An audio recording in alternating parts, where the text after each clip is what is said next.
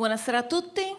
Hacking Team, Big Data e Social Media quando la notizia passa quasi inosservata è il titolo che abbiamo scelto per il nostro intervento. Infatti eh, questa è un'analisi che nasce da una comune riflessione mia e di Renato, eh, che nasceva dal fatto che una notizia che ha avuto una portata mondiale come l'attacco all'Hacking Team abbia sì avuto eh, un impatto mediatico eh, planetario, ma non altrettanto in Italia. Quindi siamo partiti da questa considerazione, eh, magari tutti sapete già di cosa parlo, faccio una breve premessa per chi di voi non, non conosce la vicenda. Hacking Team è una delle aziende leader nel mondo nella produzione di Trojan di Stato, cioè quei software eh, che eh, sono usati dai servizi delle, dalla polizia e dalle agenzie governative eh, per infettare e prendere il controllo dei computer e degli smartphone a fini investigativi e di intelligence. Lo scorso 5 luglio l'azienda che ha sede a Milano, un'azienda italiana, ha subito un attacco senza precedenti a seguito di questo attacco informatico una mole paurosa di dati è stata riversata sulla rete. Qual è stata la conseguenza? Che dal vedere e conoscere i dati e il patrimonio informativo aziendale eh, effettivamente eh, è stato constatato che dubbi emersi eh, grazie all'analisi eh, sia del Citizen Media Lab di Toronto che di Privacy International eh, erano fondati circa i rapporti commerciali che eh, l'azienda aveva con stati dove, diciamo così, i um, diritti umani non erano proprio il, la cosa più importante. Questa appunto la premessa, su questa noi abbiamo proposto un intervento ai privacy perché ci siamo chiesti, ma allora è chiaro, evidente, lo vediamo, eh, c'è un dibattito mondiale in corso, che cosa sta succedendo in Italia? Non è un tema facile, non è un tema così, eh, non è la cronaca quotidiana, eppure interessa a tutta la cittadinanza. I giornali ne stanno parlando. Ne stanno parlando significa stanno scrivendo articoli, stanno eh, comunque producendo notizie che poi veicolano nei social media e a seguito di questa eh, veicolazione emerge o non emerge un dibattito eh, che non è solamente eh, tecnico-legale, ma interessa effettivamente tutti quanto a diritti. Su questa domanda abbiamo pensato, vediamo cosa succede sui social media, là dove appunto il dibattito sta scaturendo, in Italia. E facciamolo partendo da uno scenario big data, ti chiedo di andare avanti con, con, la slide, ovviamente l'abbiamo fatto partendo da competenze differenti. Io faccio la giornalista, mi occupo anche di innovazione, attualmente sono in prestito alla comunicazione istituzionale, però sono anche attivista di dati aperti. Eh, insieme agli amici della Sardegna, sono sarda, organizziamo da quattro anni il Cagliari Open Data Day in eh, contemporanea con l'International Open Data Day. Eh, credo profondamente nella necessità di difendere il senso vero e proprio della parola privacy e sotto questo aspetto mi interessa moltissimo anche l'internet delle cose eh, per i profili che eh, sono appunto relativi alla privacy. Di tutt'altra esperienza invece è il mio amico Renato Gabriele. Io mi occupo principalmente di CT, ma in questo caso è rilevante l'ambito professionale. In realtà su molti progetti paralleli sul quale opero, eh, il tema privacy, sorveglianza digitale, sicurezza e big data sono un'attività che fanno parte sia della professione, ma era potendo avere interesse nell'ambito della tutela, della possibilità di agire democraticamente, liberamente, sulla rete quanto fuori dalla rete. Ho avviato negli anni passati diversi progetti e collaboro con altri progetti. I progetti principali che sono legati, che saranno toccati dalle informazioni e dai dati che vedremo durante la presentazione, principalmente sono legati ovviamente ai big data, ai sistemi software utilizzati per fare le analisi sui social network. Queste non saranno presentazioni su un modello stile social media manager, no. non guarderemo le impression o le view, ma cercheremo di capire dai dati quali sono le cose su cui le persone nel mondo e nei rispettivi singoli paesi, nelle rispettive lingue, hanno discusso, approfondito, rilanciato su tutto ciò che riguarda l'argomento privacy, perché di fondo Hacking Team, vedremo dai numeri, eh, il di Hacking Team ha permesso di far vedere e leggere eh, non solo a chi ne mastica di questo argomento, come le persone della InfoSec, e i giornalisti specializzati di questi argomenti, ma anche le persone normali, giornalista di qual è l'universo vero che si cela dietro alle relazioni fra chi si occupa del controllo della sicurezza e chi a volte che questo è il vero motivo che ha dato tanto enfasi allo scandalo del leak di Hacking Team, in cui queste soluzioni vengono usate da governi non sempre democratici molto spesso non per niente democratici, non tanto per combattere la criminalità, ma per perseguire chi potrebbe nell'arco del tempo portare a una maggiore democrazia o a un cambio di quello che possono essere le condizioni sociali del Paese. E quindi diciamo, c'è stato un notevole interesse da questo punto di vista.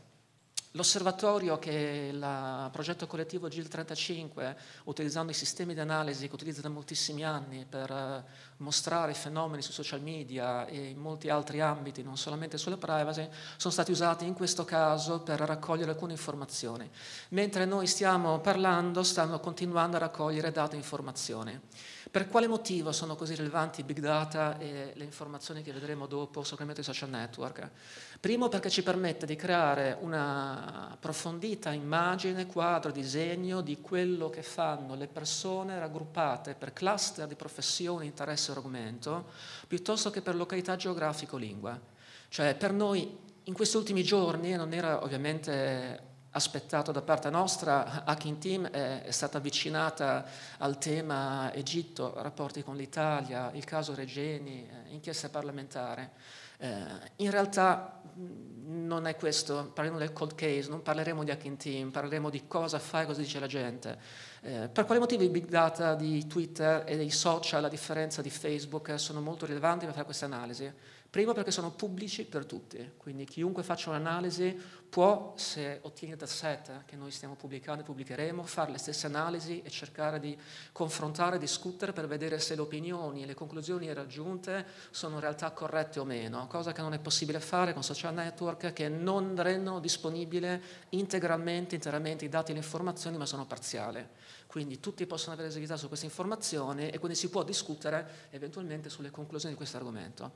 Il secondo aspetto è che mentre voi vi immaginate eh, che i tweet e i Twitter siano solamente quelle 140 lettere che le persone scrivono in un tweet, eh, sì, è sicuramente vero, ma è solamente una piccolissima punta dell'iceberg. In realtà quei dati che avete scritto criptici e in piccolo dietro nel fondo della slide sono solo una parte dei metadati che descrivono questo tweet e che chiunque ha gli strumenti per fare analisi e collegarsi in tempo reale può, nello stesso istante in cui voi twittate sulla rete, in tempo reale ricevere tutte le informazioni di questi metadata.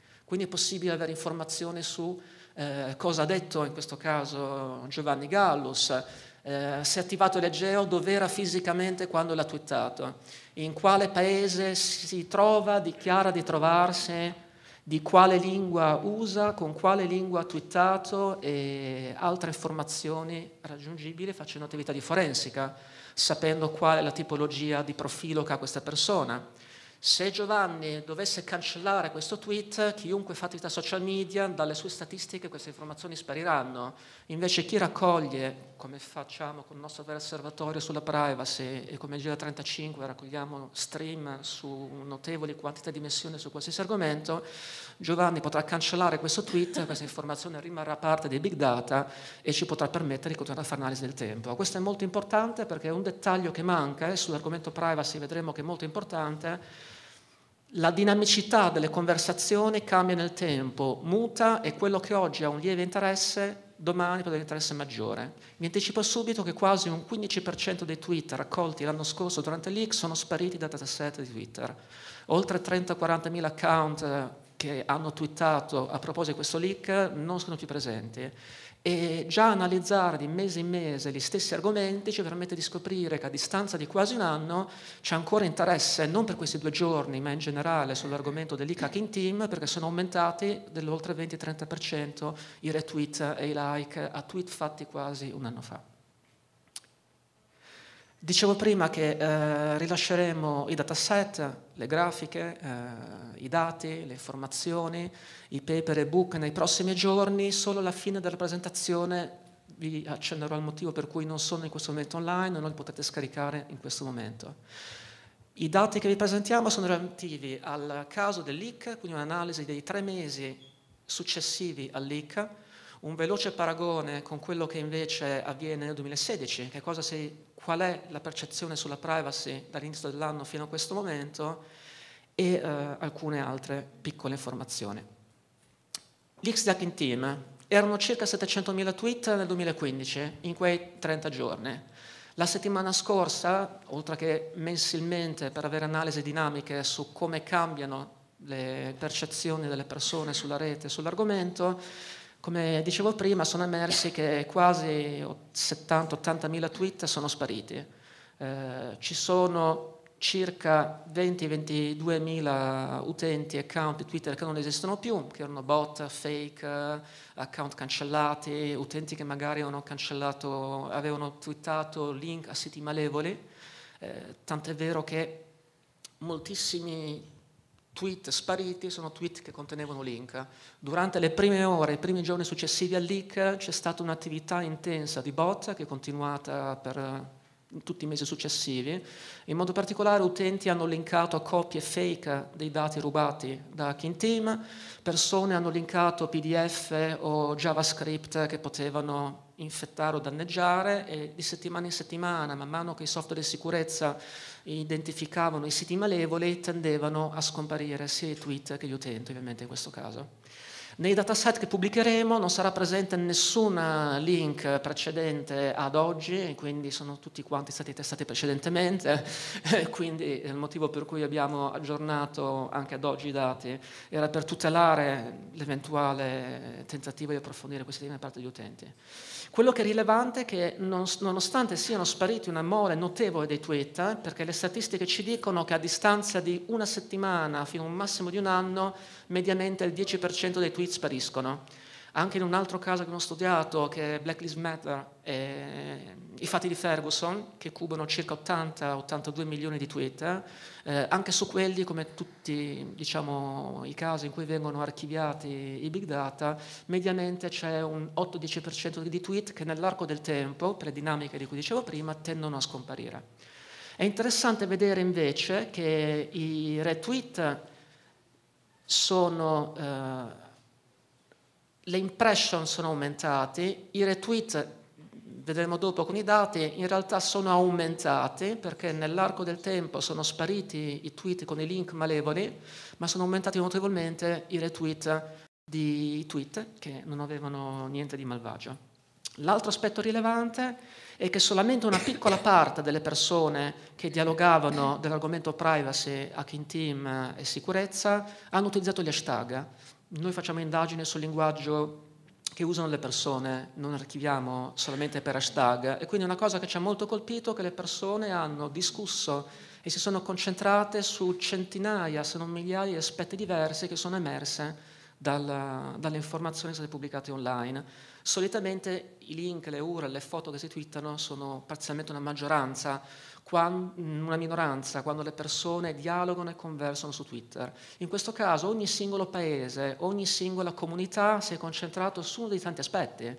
Eh, vedremo temi dedicati alla Spagna, all'Ecuador, agli Stati Uniti o ai casi italiani o tanti altri aspetti.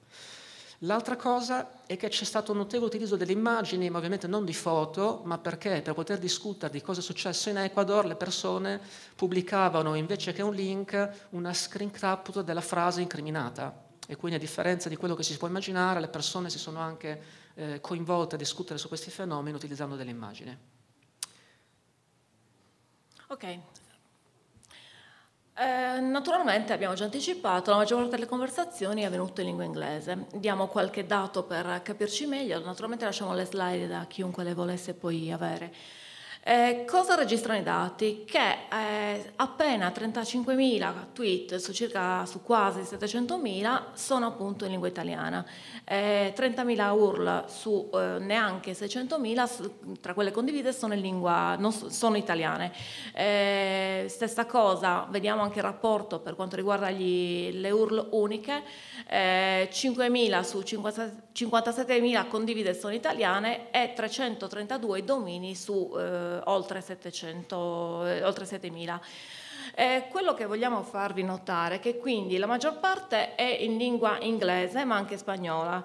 Eh, cosa emerge nell'analisi delle conversazioni? Che eh, nei tweet è apparso ovviamente prima di tutto Wikileaks, dove è stata riversata la maggior parte del, eh, della conversazione, eh, e altri siti specializzati in materia di sicurezza come, eh, come CS Online, CS Online. Eh, lo, ve lo faccio vedere anche graficamente, come vedete la maggior parte è in lingua inglese per oltre il 57%, qui vedete poi nel dettaglio meglio anche i tweet. Eh, subito dopo, come vi abbiamo già anticipato, la lingua spagnola per diversi aspetti, tra cui appunto quello dell'Equator, ehm, di cui abbiamo già accennato. È interessante capire anche che cosa ha mosso, eh, per quanto riguarda gli hashtag, la conversazione. Il più usato in assoluto ovviamente è quello più immediato, è King Team, è stato usato più di 230.000 volte. E a seguire questo hashtag bellissimo perché è, prende in giro quello che è successo, Hack Team, è stato usato 17.000 volte. Eh, abbiamo, vi stiamo segnalando in questa slide che è stato usato oltre 10.000 volte SENEIN, ossia la segreteria nazionale, l'intelligence dell'Ecuador, e torna la parola del paese, appunto Ecuador, in settima posizione. Perché questo lo stiamo facendo notare? Perché è una vicenda che gli è stata molto sentita e è stata testimoniata nei social, appunto Ecuador come hashtag appare 7.000 volte. Lo facciamo vedere anche graficamente eh, per rendervi meglio conto delle proporzioni. Eh, Svetta in assoluto e King Team eh, seguono gli altri. Eh, vi faccio notare appunto eh, Ise King Team eh, Wake Yet eh, e Wake Yet perché è stato il primo eh, significativo perché da qui è poi partita tutta, tutta la conversazione in maniera massiccia eh, perché appunto gli hacker si sono impossessati.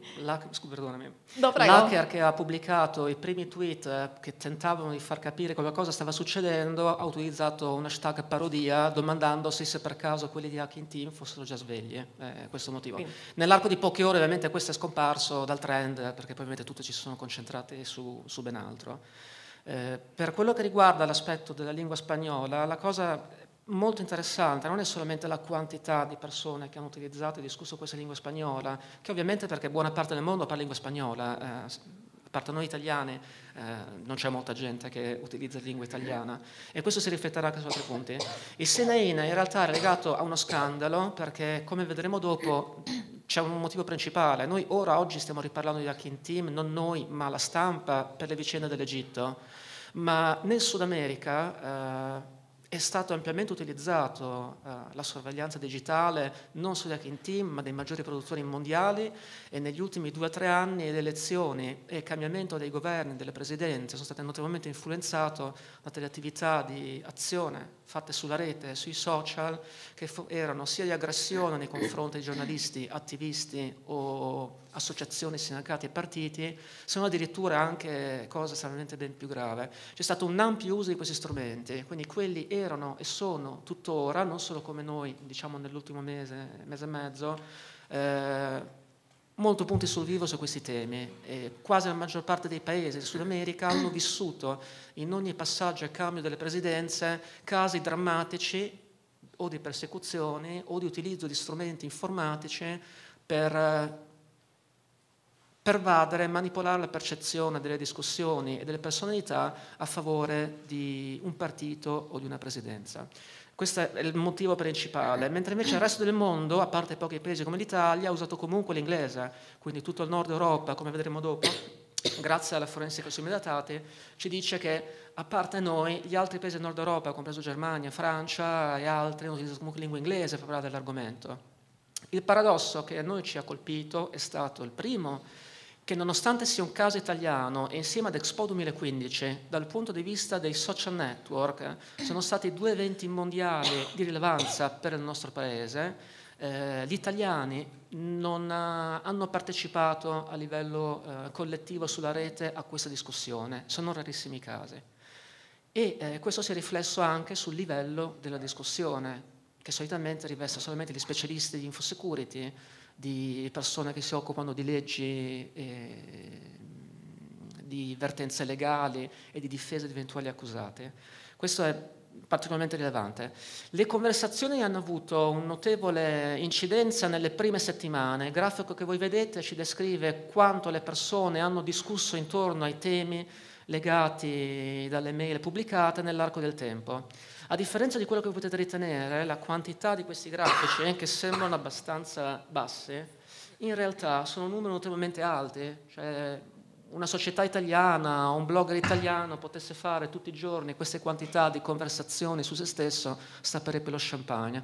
Quindi fate, facciamoci influenzare. C'è stata una, cons- una conversazione costante e continua che copriva tutti i fusi orari.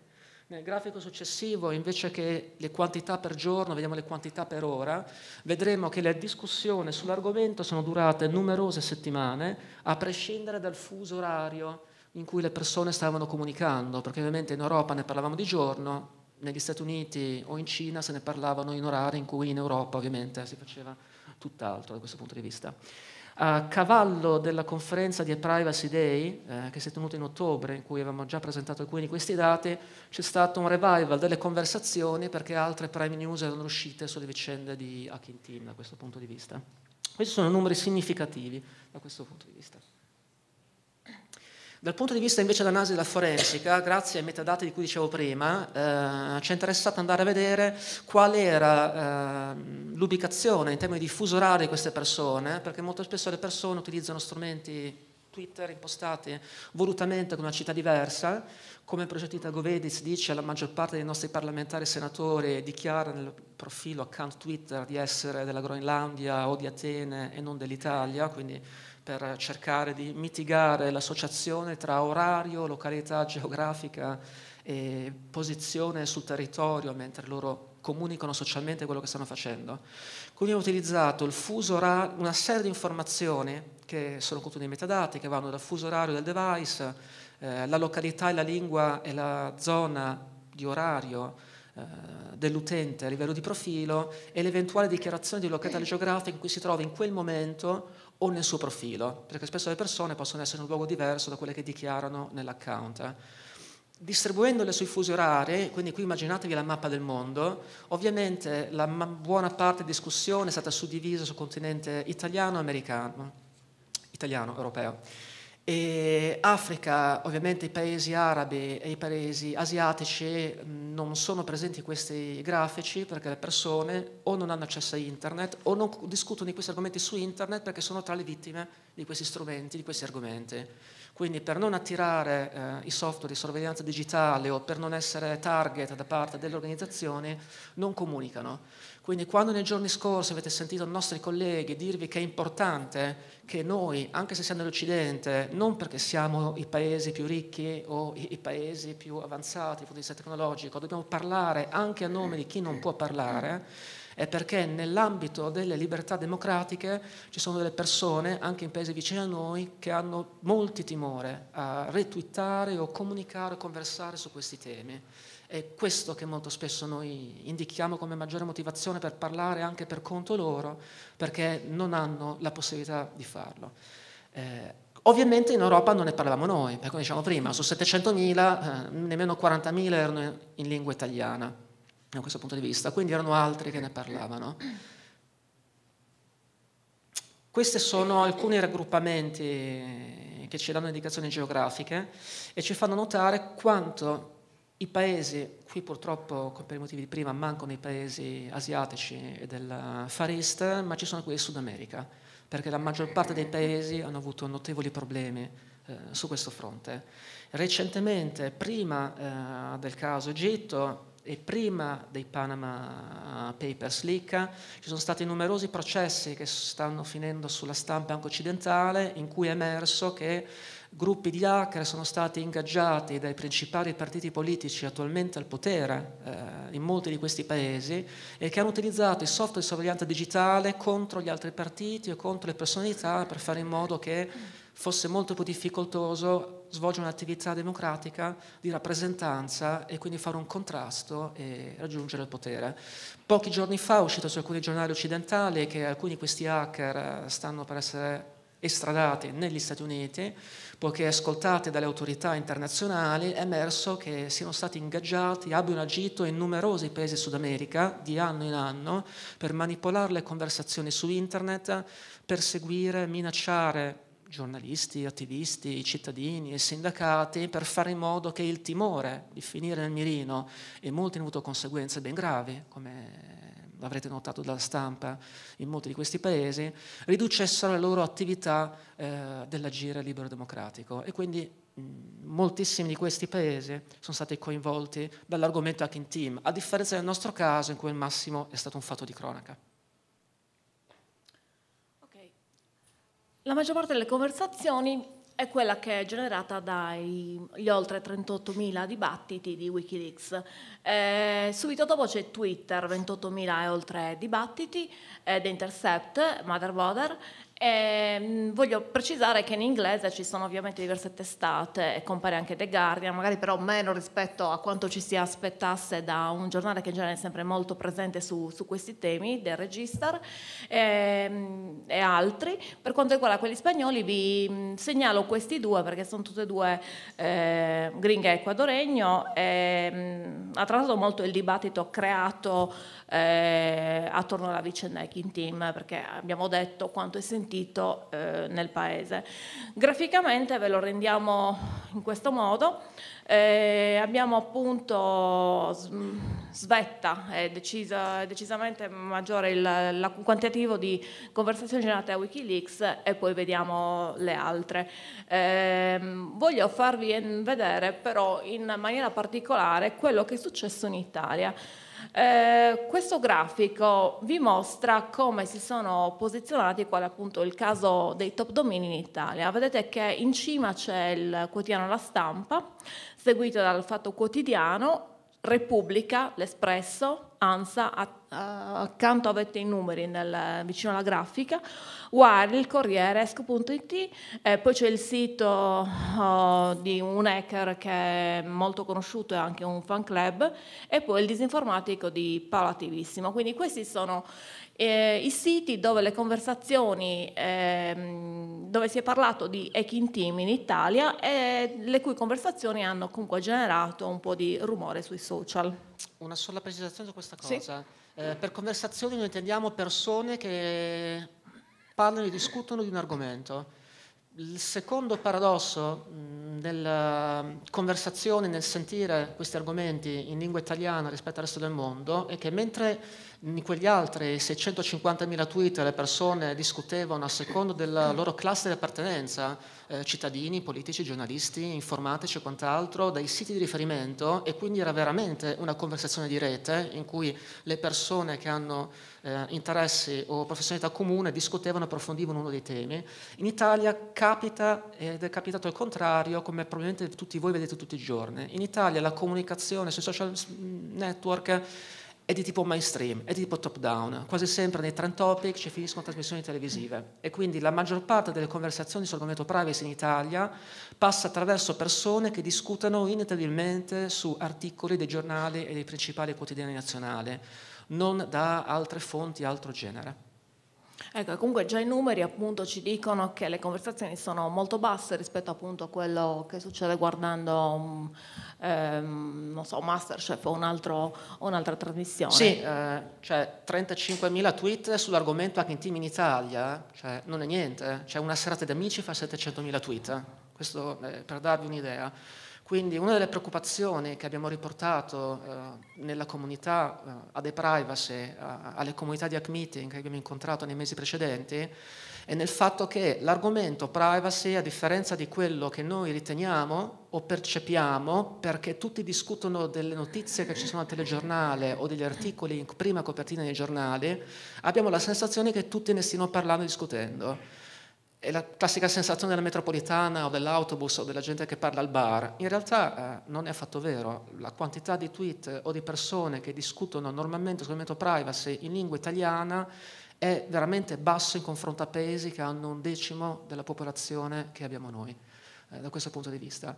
E questo per noi è molto importante perché molto spesso noi ci ritroviamo a per approfondire questi temi e quindi parlando tra di noi, come avviene per le singole persone sui social network eh, che chiusi in una bolla ci fanno credere che tutti hanno gli stessi interessi che abbiamo noi e che tutti stanno parlando di quello che a noi interessa parlare, la realtà dei numeri purtroppo è molto fredda e ci dice che è esattamente l'incontrario.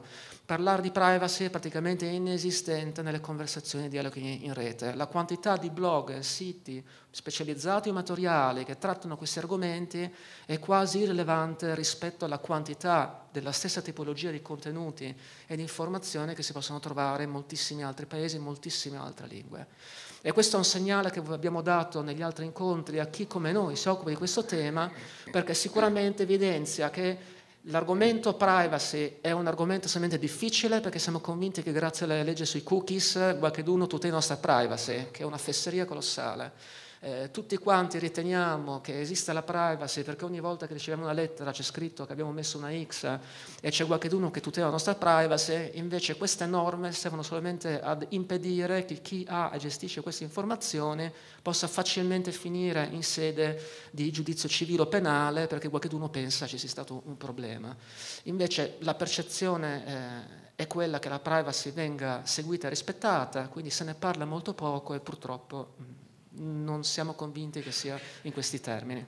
Se ne parla molto poco in maniera insufficiente, probabilmente eh, dobbiamo dire che abbiamo anche una responsabilità in questo senso, noi giornalisti, cioè va anche magari eh, trovata la maniera di informare meglio il cittadino a questo proposito.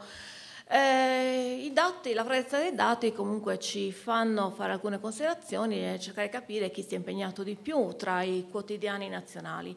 Eh, abbiamo riportato una sintesi delle posizioni eh, tra i top domini, eh, compaiono, abbiamo detto, la stampa espressa alla Repubblica che risulta 79esima, eh, la stampa è stata la più brava, era 55esima mi sembra. A livello dei domini mondiali? Ovviamente sulla, sul mondo, quindi numero 55 mi confermi.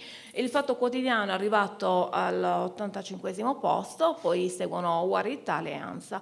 Ehm, Una piccola nota, come dicevo prima, i numeri sono bassissimi, cioè sì. ecco, il problema che ci capita sempre quando vediamo e consultiamo i big data, che vediamo il grafico, ci dicono ah, sono stato il primo, il quarto, il quinto, eh, stiamo parlando di centinaia di tweet su 700.000. Quindi queste sono distinzioni che abbiamo dovuto per forza fare perché altrimenti eh, ci sarebbe completamente persa la discussione che è avvenuta sulla rete in lingua italiana poiché grazie ai numeri scendavamo in graduatoria. Quindi sì, attivissimo al 10%, ma stiamo parlando di una manciata di tweet mm, irrilevanti. Qualunque fotografia twittata ne colleziona ben molte di più da questo punto di vista. Ecco, appunto, abbiamo voluto riportare anche un po' i numeri che hanno fatto i blog, appunto Paolo Tivissimo e eh, con questa posizione, con questa precisazione che ha già fatto Renato, eh, il blog di Matteo Flora, il blog di, di, Fabio Chiusi che si occupa spesso e volentieri di questi temi ed è qui con noi al festival, eh, il deputato Stefano Quintarelli, appare anche sul sito di Peppe Grillo e sul forum del Partito Pirata. Queste le posizioni, ehm, abbiamo qua okay. eh, esploso. Vado eh, velocemente. Sì, vai tu velocemente su questi. Questi sono solo una piccola parte dei dati, ci sono tutti e ci saranno tutti pubblicati online. Questo ci serve per mostrare semplicemente che le persone si sono coalizzate su una rete eh, di cluster. C'è chi discuteva del codice, chi degli articoli sui giornali, chi erano attivisti, chi erano dei quotidiani, siti con uh, file sorgenti utility, siti di videogiochi, persone che si dilettano di altro eh, e anche un sacco di siti porno. Una delle cose che viene sistematicamente utilizzata per silenziare le conversazioni è aggredire le conversazioni con bot che diluiscono, è un termine tecnico, le conversazioni, rendendo impossibile parteciparvi, oppure lo fanno per allontanare chi vuole partecipare a quelle conversazioni e quindi, come vedremo alla fine, uno dei, dei più grossi problemi delle conversazioni sul tema Kinleaks, sulla privacy che abbiamo rilevato, è che ci sono alcuni account di siti porno che bombardano con decine, centinaia di migliaia di tweet e di link le conversazioni per diluire o silenziare le persone che vogliono partecipare, perché io seguo lo stream come seguo Sanremo e se comincio a vedere lotti di tweet che parlano di siti porno, smetto, non seguo l'argomento e magari in quel frangente, in quel paese stava avvenendo un'elezione politica e quell'approccio di utilizzo delle political botnet fa sì che gli altri paesi non riescano a percepire cosa sta succedendo. E magari lo scopriamo oggi per i Panama Leakers, mentre invece se avessimo potuto seguire correttamente quei temi che avvenivano in quei paesi paesi circa un anno fa avremmo scoperto che sono dei paesi che hanno avuto grosse difficoltà, hanno avuto cambi drastici di partiti che erano al potere perché venivano utilizzati anche strumenti di questo genere. Gente che condivideva documenti di Word, cioè è interessantissima questa cosa. Decine di migliaia di persone hanno analizzato questi dati, li hanno discussi ricreando fogli elettronici, documenti sorgenti, tentando di approfondire, raccontare, svelare un dettaglio che era importante per lui, loro, quel paese, quella lingua, quel momento o in quel frangente. Il primo link più condiviso in assoluto in tutta questa discussione è un link in lingua spagnola e parla proprio del eh, caso legato alle vicende dei paesi intorno all'Ecuador, perché in Ecuador è molto difficoltoso discutere di questo argomento, perché le persone erano vittime del software di Hacking Team e lì veniva fuori diciamo, le fatture, i corsi, le comunicazioni, le conversazioni tra Hacking Team e i loro clienti, i loro partner su quell'argomento e molte altre informazioni di altro genere, i più vari da questo punto di vista. Dal punto di vista italiano, invece, a parte qualche raro caso, eh, i principali siti o conversazioni eh, che si sono legate a un archivio o un sito o un link, perché sono solamente tweet legati ad articoli, documenti, informazioni. Da questi numeri sono già stati tolti tutte le conversazioni prive di significato che non erano collegate a nessun aspetto specifico di un caso, da questo punto di vista. E sono quasi sempre comunicazioni mainstream cioè legate detto, top down rispetto a un articolo che è uscito su quel giornale. Quando vedrete i grafici per singolo paese, per singola lingua, vedrete che anche in Italia quelle poche conversazioni sono venute quasi sempre quando uscivano gli articoli di Carola Frediani, che vedo in sala, perché è stata la giornalista che toccando spesso questi argomenti ha focalizzato, ha portato le persone a discutere di quegli argomenti su quei leaks e guarda caso i tweet avvenivano unicamente nel momento in cui usciva un articolo sul giornale, perché magari qualcuno come i suoi colleghi riprendeva l'argomento. Poi ti facciamo vedere anche graficamente. E qui ci sono un po' di link uh, su questo. Uh, sì, questi sono... Eccoli, questi sono i link graficamente. Mm, possiamo anche mm, far vedere direttamente la grafica, è la stessa, però okay, resa in maniera sì. grafica. Eh, allora, che cosa appare? Appare che l'articolo di Massimo Russo, I segreti di, di Vince, l'uomo che aiutava le spie, è, è quello che appare di più eh, nel, nel, diciamo, nella classifica di questi primi dieci articoli della stampa. Eh, dobbiamo dire anche la verità, è quello che ha avuto maggior peso, però eh, in realtà eh, chi si è impegnato di più dei colleghi della stampa è stata appunto Carola Frediani che laggiù eh, ne ha parlato più volte questi articoli ehm, e di conseguenza una serie di altre conversazioni derivano appunto dal suo contributo. Ci sono anche altri colleghi, altri articoli che qui non appaiono, però già questa, questa grafica eh, ci dice questo. Volevi aggiungere una cosa? Eh, adesso, Carola sarà contenta, ma questa slide non è perché così dopo lei ci deve offrire la cena. Questa slide, io non sono giornalista, lei è giornalista, eh, per me questa slide è drammatica, cioè non solo nessuno parla di privacy in Italia, sì. Nessuno discute nel tempo, perché un conto è il tweet estemporaneo, eh, nessuno parla più di Sanremo, però ci sono stati 2 milioni e 700 mila tweet su Sanremo eh, durante quei 5 giorni.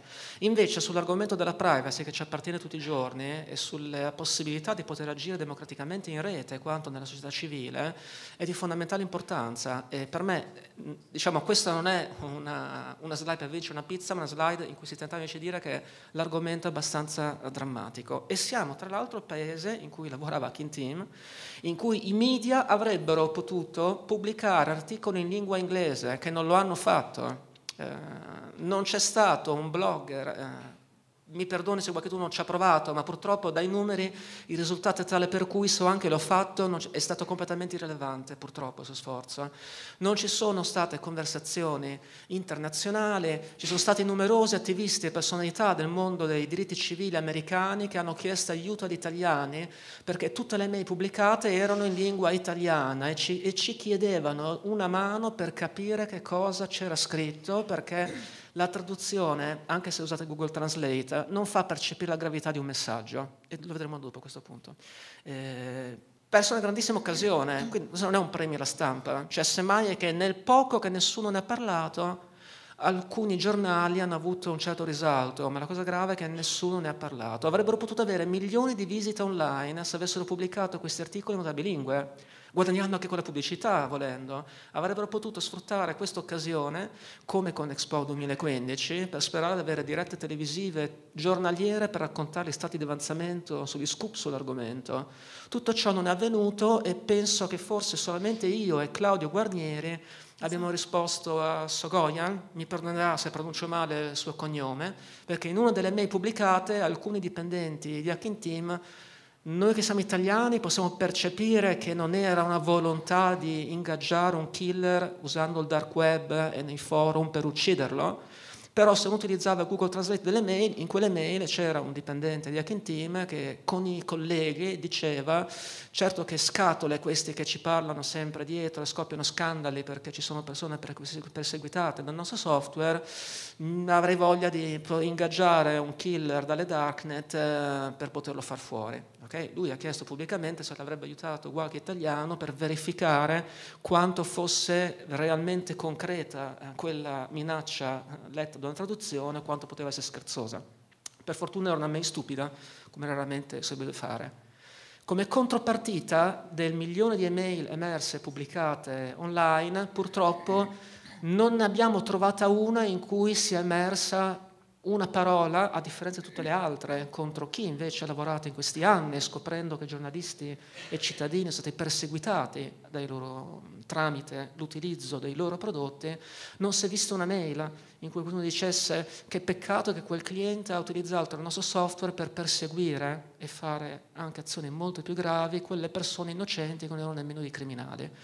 Questo è la, il contraltare, nel senso un centinaio, migliaia di mail in cui si tentava di contrastare l'attività di Citizen Lab e di molte associazioni in giro per il mondo che da anni aiutano le persone, i blogger, i giornalisti perseguitati nel terzo mondo, nei paesi arabi e in Asia, e mai una mail in cui, comprovato che era stato usato il loro prodotto, a me dicessero certo che potrò, potremmo fare qualche cosa per evitare che succeda. Ecco, questa è una cosa che eh, volevamo evidenziare perché ha sicuramente una rilevanza sull'argomento. Però ovviamente precisiamo che eh, il grafico, se vuoi rimettere un attimo, ci serve anche per far capire questo. Eh, dobbiamo anche riconoscere che c'è stato chi ha cercato di eh, parlare di, di, questa vicenda che va a toccare la libertà eh, dei singoli, il, la libertà di informazione e i diritti dei singoli, quindi una tematica eh, che ha una portata assolutamente mondiale. Purtroppo poi non c'è stato un effetto contagio forte tra altri media, cioè cosa è successo? È successo che alla fine noi lo sappiamo bene perché la notizia non è come un altro prodotto. A un certo punto il prodotto eh, nasce, si sviluppa e poi muore, quindi chiuso il ciclo della, della notizia, ovviamente scema totalmente l'interesse e, ed esce dalla, eh, dalle pagine dei giornali o dalle pagine web. Eh, comunque questa situazione alla stampa è indicativa perché riconosce che eh, per quanto poi le conversazioni generate sono state assolutamente insufficienti per creare un dibattito mediatico che riguardasse eh, tutto il paese. Eh, signori, stiamo parlando di un'azienda che ha sede a Milano, cioè è un'azienda che è italiana, rendiamocene conto.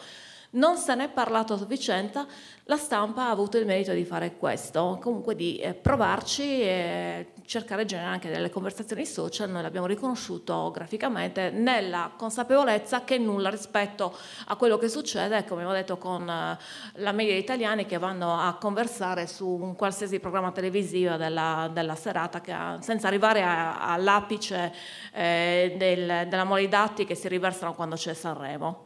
Ehm, noi siamo partiti insieme da questa domanda appunto che ci ha portato a presentare eh, questo studio innanzitutto ai presidi che era un contesto eh, molto fertile eh, in cui parlare di questi dati. Eh, questo poco importa, cioè questa è la constatazione triste. Non c'è la volontà, ehm, io ho pregato personalmente alcuni colleghi di scrivere, di parlare nelle tv, eh, non c'è magari la volontà di fermarsi un attimo, approfondire aspetti che sembrano ostici in quanto riguardano informatica, riguardano materia che magari non tutti i colleghi masticano tutti i giorni, però non c'è stato sufficientemente eh, interesse alla, alla, conseguenza di questo fatto. Cioè è vero che si tratta di un fatto informatico, ma le conseguenze riguardano la vita di ognuno di noi.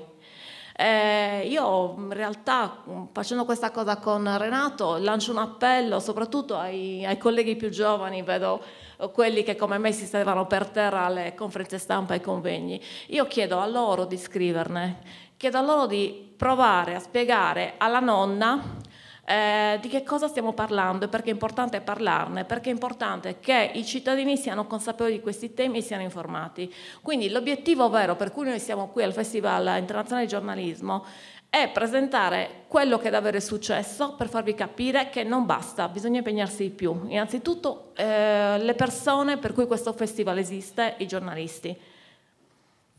Cerchiamo ora di, in questi pochissimi minuti, per lasciare spazio a qualche domanda, di trarre non delle conclusioni, ma eh, rivedere alcune di queste argomentazioni su quello che sarà il nostro prossimo futuro, che è molto meno roseo e molto più simile a Sud America rispetto a quello che noi possiamo immaginare da quello che leggiamo, sentiamo, discutiamo.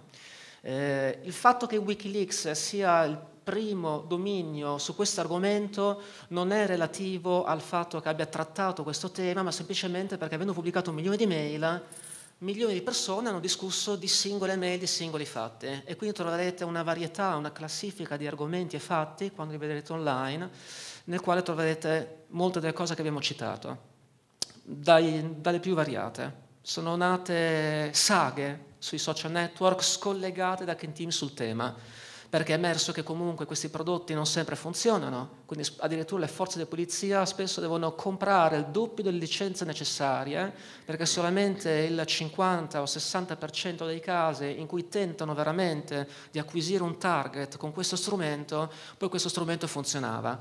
E questo è emerso nel, nello hearing quando il Senato americano ha invitato tutte le agenzie americane a dare spiegazioni e informazioni sull'eventuale utilizzo fatto o non fatto di eventuali prodotti dell'hacking team a seguito dell'X.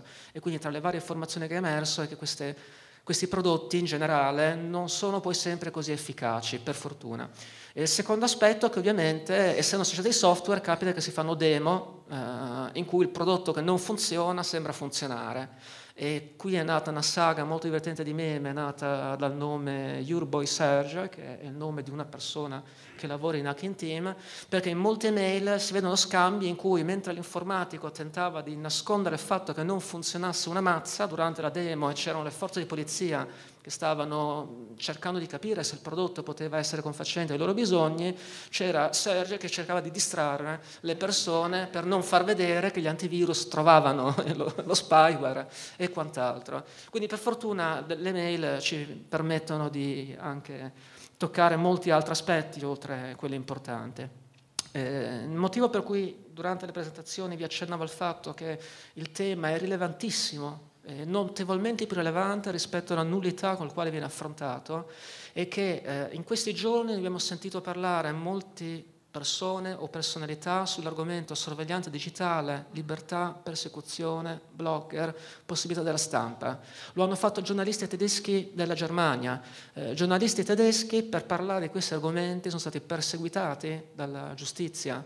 Una giornalista italiana, Stefania Maurizi, che lavora per l'Espresso e che credo eh, sia un'autrice di moltissimi articoli sull'argomento di Wikileaks, compare in quelle mail perché sembrerebbe nelle comunicazioni del CEO di Hacking Team che si siano tenuti degli appuntamenti, incontri presso Mise, il Ministero per lo Sviluppo Economico. italiano, Economico. in cui si chiedeva, si è discusso del fatto di come fare per far sì che anche i giornalisti italiani la smettessero di parlare di quello che si diceva nelle stampe estere sul fatto che il loro prodotto veniva utilizzato e dava un'immagine negativa della società King Team e quant'altro.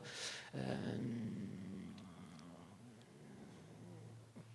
Ecco, Uno dei fenomeni eh, che gli utenti normali della rete non percepiscono è che oggi l'informatica si è evoluta, le persone non vengono solamente sorvegliate attraverso questi strumenti, ma vengono sorvegliate quando discutono, utilizzano i social network, interferiscono nelle conversazioni, come dicevo prima, o con botnet specifiche che tentano di dissuadere le persone, oppure con vere e reali aggressioni. Moltissime università hanno prodotto in questi ultimi tre anni delle ricerche, università con cui siamo collegati, che facciamo questa analisi, da qui l'osservatorio sulla privacy sulle political bot, per il fatto, per il fatto che i, gli strumenti di sorveglianza digitale vengono utilizzati da chi svolge l'attività di black operation, che è un termine tecnico.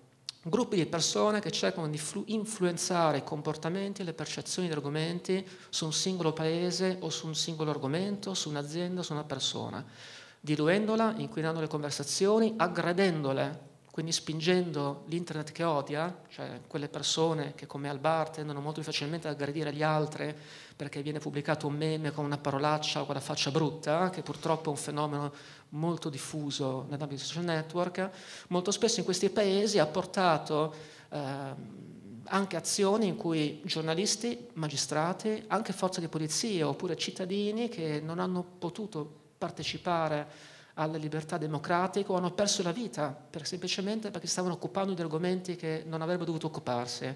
Il caso più noto è la Peña Bot in Messico, che ha aggredito per anni in modo sistematico tutte le persone dell'opposizione, giornalisti e magistrati.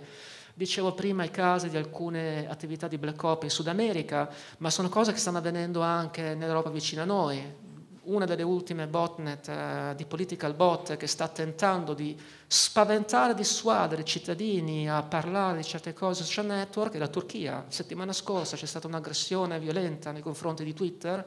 Eh, che da un lato mirava a far capire al popolo turco che c'è un notevole controllo di quello che sono le conversazioni su Twitter, che, che si dica che solo pochissime volte è successo che Twitter abbia fornito dei dati.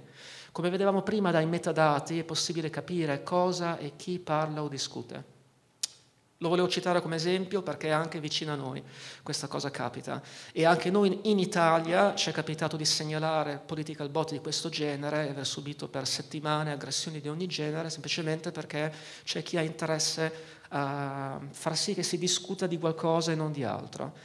C'è un intreccio non stretto, quasi letale, tra l'utilizzo degli strumenti di sorveglianza digitale e le attività che vengono svolte dai political botnet.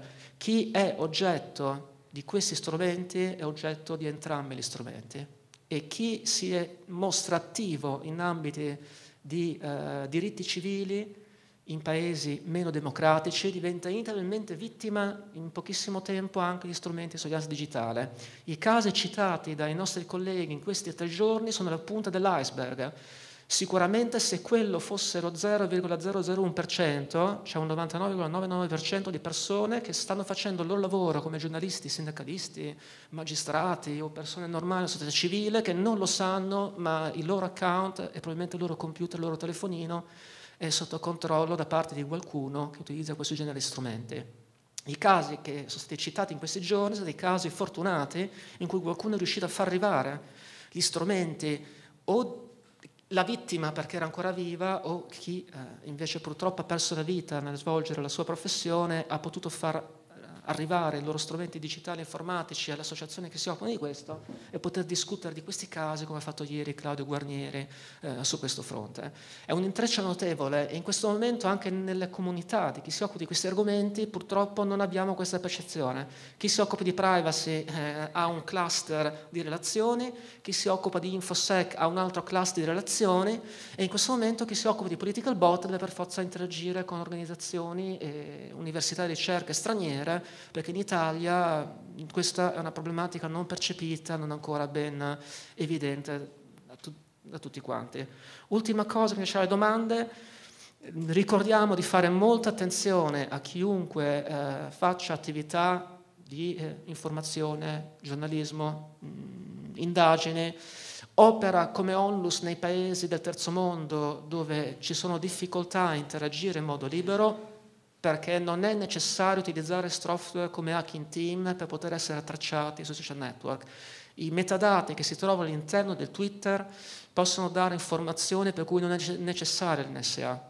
Fino a pochissimo tempo fa la maggior parte degli strumenti che venivano utilizzati, non il client nativo di Twitter, ma le miriadi di applicazioni che si interagivano con Twitter, ad esempio, utilizzavano tramite le api di Twitter non il link alla propria immagine di profilo. Ogni volta che twittavano, accedevano a Twitter, in cui compariva la loro immagine, quell'immagine arrivava in chiaro, non arrivava in HTTPS, quindi chiunque era in grado di monitorare il traffico della rete, e nella maggior parte dei paesi molti soggetti sono in grado di controllare il traffico di DSP, erano perfettamente in grado di poter eh, identificare chi fossero e dove fossero le persone che stavano comunicando. Quindi Snowden non sta utilizzando Twitter perché è sicuramente uno strumento sicuro per chiunque, è estremamente pericoloso. Se si rientra in quelle categorie, anche l'utilizzo di un normale device che si ritiene sicuro, eh, se non si ha una padronanza del significato degli strumenti e dei device che stanno utilizzando possiamo chiudere. No, solo per chiudere, mm, perché ormai siamo veramente a corto di tempo, ehm, tutto questo per dire che è necessario um, affrontare gli argomenti in maniera più sistemica, cioè serve eh, parlarne e unire differenti competenze, cioè serve, eh, come ha detto anche Claudio Guarnieri, l'ha detto qui, l'ha detto anche ai privacy, eh, un approccio sistemico che ancora manca in Italia, che invece esiste in altri paesi. Grazie per l'attenzione.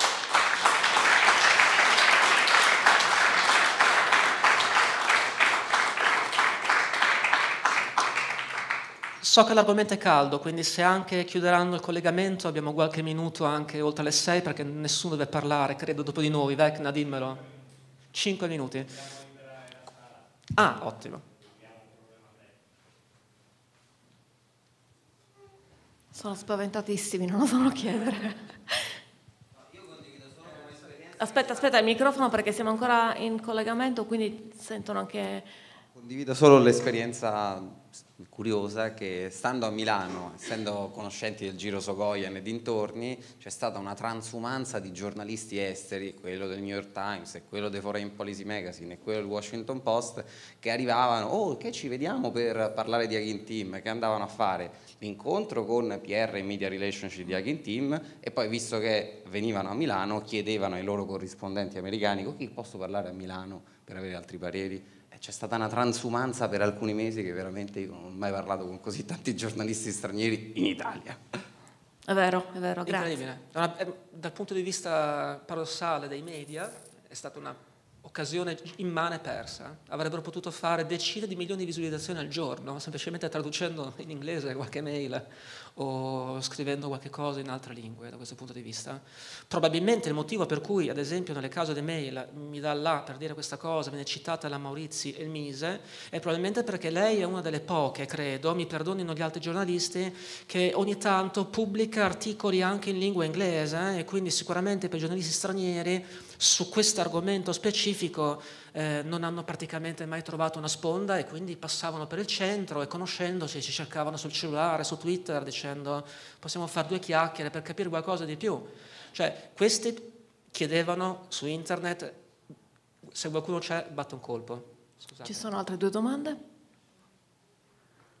La mia prevalentemente forse è una curiosità. All'interno degli argomenti che sono stati sviluppati su uh, questa questione, a questo punto soprattutto in lingua inglese, è venuto fuori da qualche parte in maniera diciamo significativa l'argomento del um, il fatto che questo tipo di strumenti uh, sono totalmente demandati a, da, a soggetti privati che vengono poi usati dagli stati sostanzialmente? Mm, no, eh, questo è un tema che è completamente, mm, da quello che ho potuto analizzare, perché in realtà è da oltre un anno che i sistemi fanno analisi su moltissimi aspetti, quindi non è una cosa preparata la settimana scorsa per Perugia. Eh, no, ma anche perché nella, nella maggior parte dei mondi e nella maggior parte dei paesi nel mondo il livello di discussione è notevolmente diverso da quello che abbiamo noi. Cioè, mo- molto spesso noi, leggendo anche i giornali, vediamo delle contrapposizioni sull'argomento pubblico e privato, su chi ha titolo o diritto di affrontare quel problema, quegli strumenti, quel software, oppure il caso famoso Carrai sulla cybersicurezza o di Renzi. All'estero questo argomento non si tocca perché all'estero una cosa che è da fare si fa non perché sia giusto o sbagliato, nel senso non è rilevante se sia pubblico o privata, perché poi in ogni paese esiste una realtà sociale, politica, economica diversa, per cui in alcuni paesi è di competenza pubblica o di competenza privata. C'è sicuramente un aspetto puramente tecnico però, eh, sono prodotti talmente all'avanguardia che tendono a morire nell'arco di 3, 4, 8, 24 ore. Quindi le società o le persone che possono produrre strumenti di questo genere, lasciandoli funzionali per i loro clienti finali richiedono un'attività, uno sviluppo eh, di ricerca notevole e normalmente gli enti pubblici anche in paesi in cui il pubblico e privato è quasi la stessa cosa hanno forti difficoltà a seguire questo ritmo. Esempio tipico è Zero Day. Uno degli argomenti di cui nessuno credo abbia parlato in questi ultimi giorni è che tutti questi prodotti per funzionare hanno bisogno di sfruttare un bug che permetta di iniettare del software malevolo. E ci sono persone che passano la loro vita uh, come mestiere a cercare in giro per il mondo zero day da poi rivendere a società come Hacking Team per essere usate. Questo è uno dei motivi principali per cui tecnicamente è difficile. Le stesse società in realtà producono software molto spesso che funzionano molto male, perché basta un giorno, un mese o sei mesi per cui il prodotto diventa completamente inutilizzabile, non perché sia fatto male o sbagliato, perché la complessità di questi strumenti richiedono un aggiornamento al secondo millisecondo. La seconda domanda?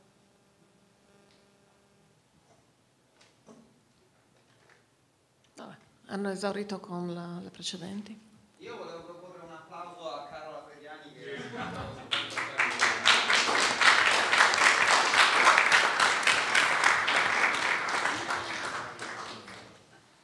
Va bene, grazie ancora a tutti.